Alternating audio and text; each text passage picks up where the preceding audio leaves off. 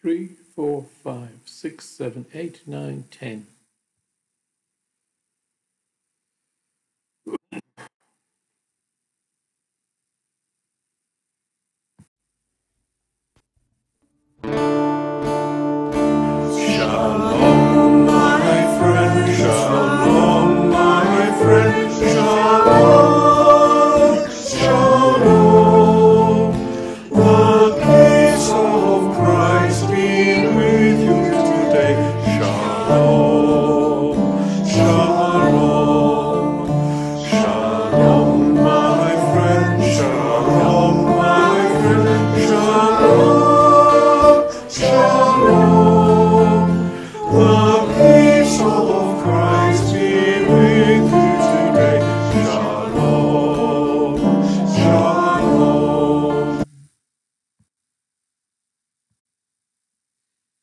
And the next one, Christ be our light.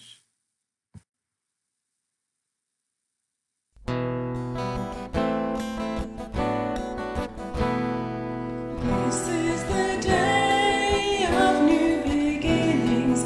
This is the day when heaven meets earth. This is the day filled with God's glory. And that's it for the second test.